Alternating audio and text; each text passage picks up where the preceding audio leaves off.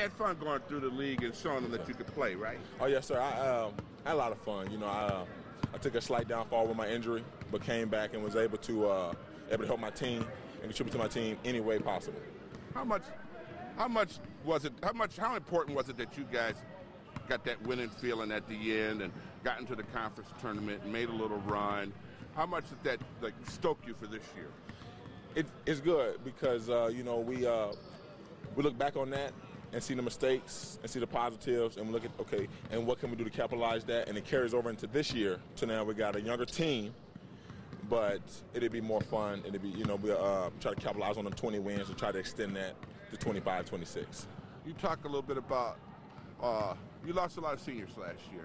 So now you have to step up and be one of the leaders of this team. You ready for that? Yes sir. I'm ready to take on that role. Um, uh, i play behind a great guy and DJ White, who plays Oklahoma City Thunder, and watching his watching his his ways that he went about his games and his practice and, and what he went about himself, I can now lead these young guys into doing the same thing. And, and talk a little bit about some of the guys you have. Uh, uh, though you guys are young, you guys are a bunch of juniors. You should, you guys know what to do, right? Yeah, oh yeah, we have great talent. I mean, you got the returning uh, leading scorer in Chase Simon. You got a great point guard in Donovan returning who can help us out. You have uh, the McDonald's All-American coach's son, Ray McCallum. And you have Jason Calliste, who uh, who set out last year, who's going to help us from the arc. You have Lamarcus Lowe, who's a, a defensive presence. You have Nick Minnerath, who's a transfer. I mean, the guy plays above the rim. I mean, it's 40 inches and above, so he plays above the rim, which is a guy we needed last year, but we have this year. You have a guy like Evan Bruinsma, who comes in and that's going to be our garbage truck guy. That's going to be our cleanup guy. He's a hustle guy. I love his attitude. He brings it every day. You know what to expect from that guy. You got guys like Connor Clark who's going to come off the bench and help us. You have a uh, transfer in uh, Chris Blake, who just he can just create and he and he can create matchup problems for anybody on the floor.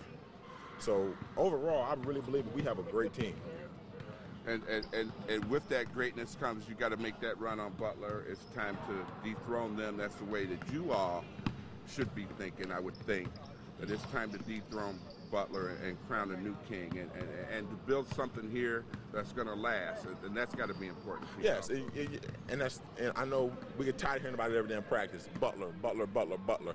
And I tell the guys, take it one day at a time I said, uh, we have an opportunity to scare Butler by beating New Mexico, and let's try to beat Syracuse.